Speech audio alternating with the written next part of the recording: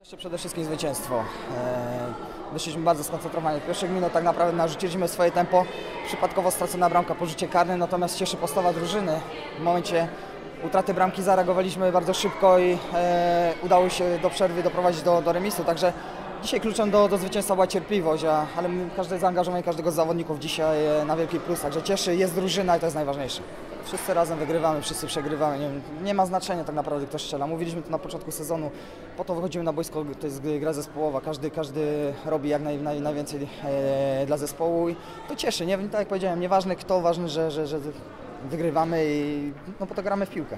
Spodziewaliśmy się bardzo tru- trudnego meczu i też taki on był. Natomiast e, to nie są nasze, na, nasze sprawy, co, co, co tam, jakie Wisła ma problemy. My się skupiamy na swoim zespole i, i może e, może, może tutaj nie gadajmy o rywalu. No na pewno e, doping dzisiaj przez cały mecz od pierwszej do 90 minuty.